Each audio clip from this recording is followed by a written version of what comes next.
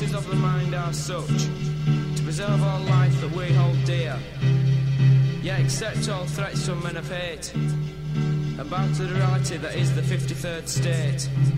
Flowers bloom for all to see, but the people tortured for thinking free. Our bodies contain the spirit twisted. Let the eagle fly, but not on our land. Mountains drilled and fucked with bombs, guns to rain and cut out tongues. The escalation shows so clear, not for us, but our children I fear.